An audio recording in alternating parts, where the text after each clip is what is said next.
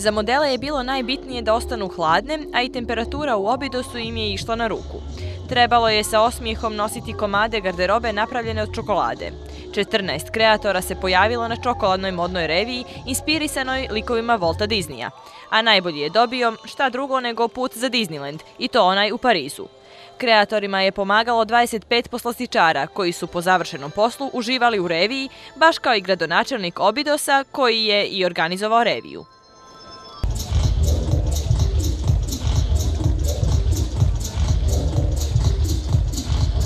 Uma passagem de modelos que cruza Ova revija miješa hranu, odnosno čokoladu sa modom i umjetnošću, ali i sa scenskim pokretima kojima obiluje događaj kojem prisustvujemo.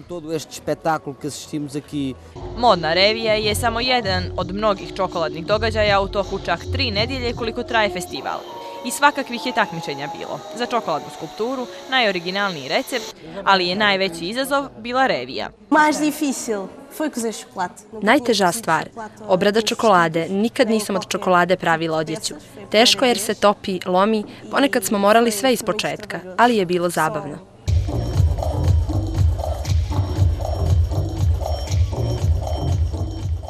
Na kraju se doznao i putnik za Pariz. U Disneylandu će odlukom žirija uživati Karolina Gasper, zahvaljujući kreaciji inspirisanoj princezom Mulan, ženom ratnicom iz magije kuće Disney.